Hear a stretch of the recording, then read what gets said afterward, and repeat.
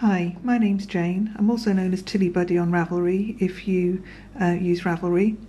And uh, I wanted to show you a two needle cast on for the stretchy slip knot cast on um, that has recently been developed by Jeny Staiman. Um, uh, it's a kind of a partner to Jeny's surprisingly stretchy bind off, so the two of them work very well together. The cast on is very stretchy and is suitable for the top of socks and um, for hats and that kind of thing because it is so stretchy.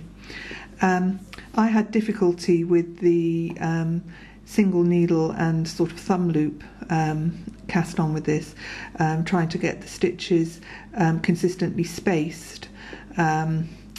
And uh, I came up with an alternative method, uh, which is to use uh, two needles um, to make the slip knots, um, and I'll show that to you now.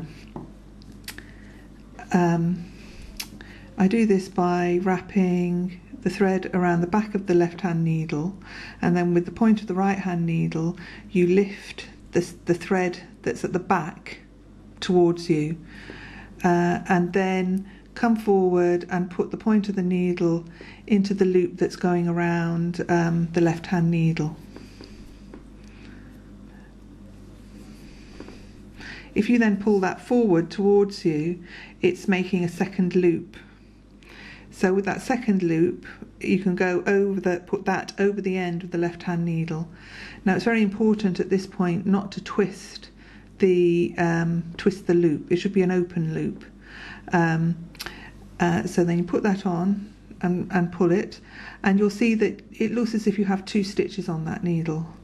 Uh, in actual fact, um, when you pull the um, yarn that I'm holding here in my right hand uh, around the back and then back towards you, it will reposition the stitch on the needle and it'll tighten up the slip knot uh, below the stitch so that it'll show you that you actually uh, only got one stitch there, that's your first slip knot.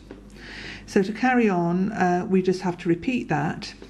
Um, so you take the yarn around the back of the left hand needle, you, uh, you pick up the back thread with the point of your right hand needle, uh, and then you go into the stitch that's wrapped around the left hand needle and then pull that down to free it and pull it towards you again to, to open that loop and then that loop goes over the end of the needle again on the left hand side.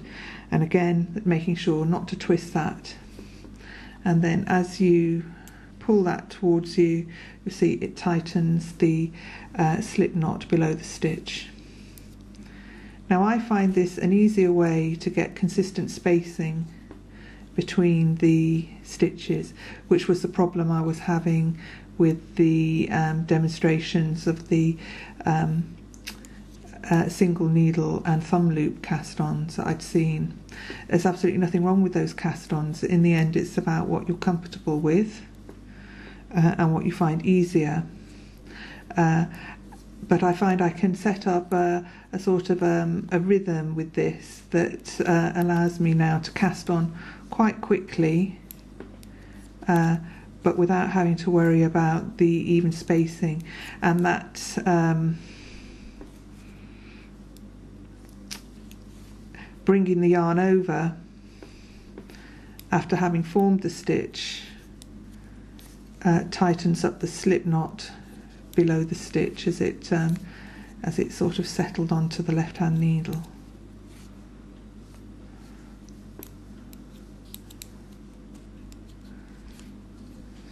So you can see you can get quite a, a, a rhythm going.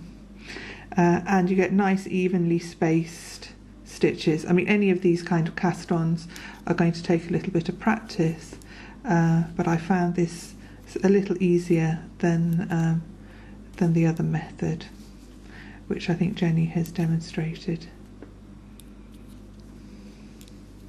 So it's an alternative.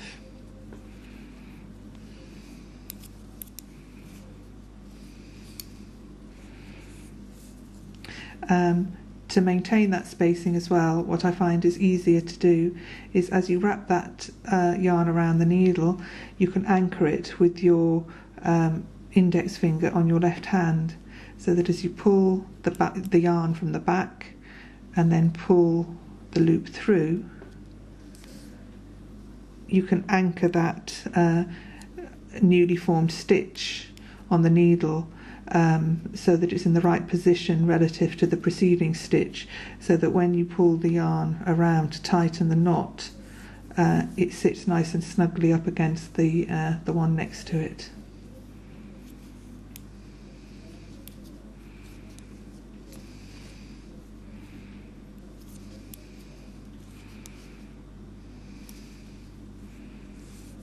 There you are, an alternative way of doing the stretchy slip knot cast on.